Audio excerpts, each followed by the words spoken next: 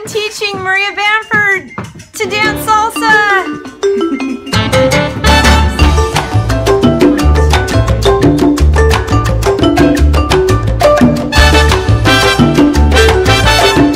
You've taken a lot of swing dancing, right? Swing dancing is a rigid dance culture that tries to control your creativity.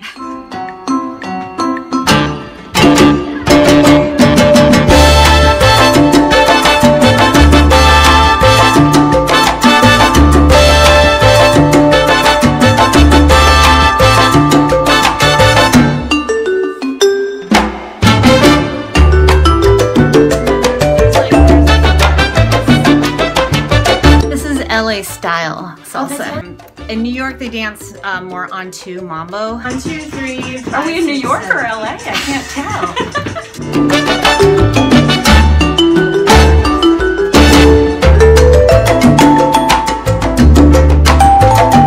Like, what if you get anxious like you're dancing with a stranger and then they touch your bod? You feel a little weird, like, but I'm married, but we're dancing salsa.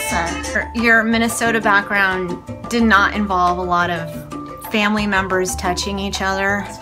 light sort of just around the clavicle. You touch clavicle. Sweaty bodies, like body rolling on each other. Would that make you uncomfortable?